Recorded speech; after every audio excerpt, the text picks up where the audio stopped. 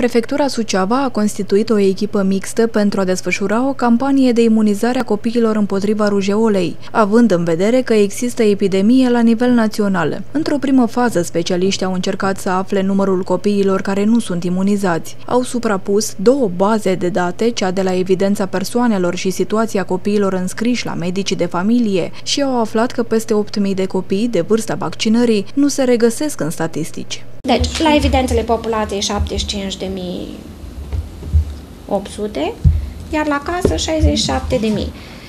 Am încercat, sigur, și noi să ne explicăm în primul rând de unde apare această diferență și am pus-o pe seama copiilor plecați în străinătate, copiilor mutați în alte județe, mm, copiilor aflați în sistemul de plasament uh, social, deși aici avem o rezervă.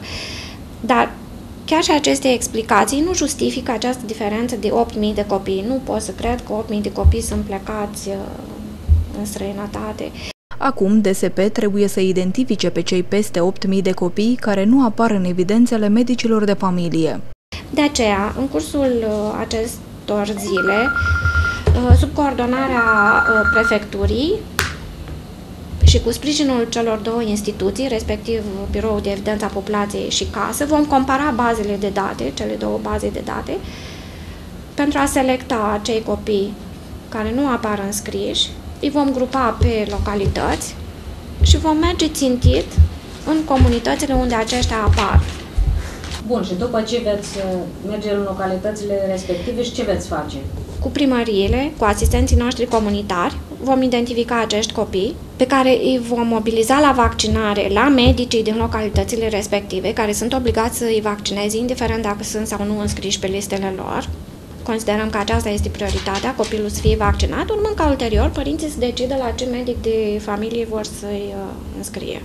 Cât privește campania de informare și de imunizare împotriva rujeolei, situația nu este roz. Direcția de Sănătate Publică Suceava nu are buget nici măcar pentru materiale informative rugăminte către decidenții la nivel național uh, care ne-au mobilizat în această perioadă, dar care ar trebui să ne sprijine și cu uh, resurse materiale, cu bani, astfel încât să putem desfășura această campanie în bune condiții, adică să tipărim niște afișe, să eu aș fi dorit să trimit către toți părinții o invitație la vaccin și însoțită de un pliant informativ.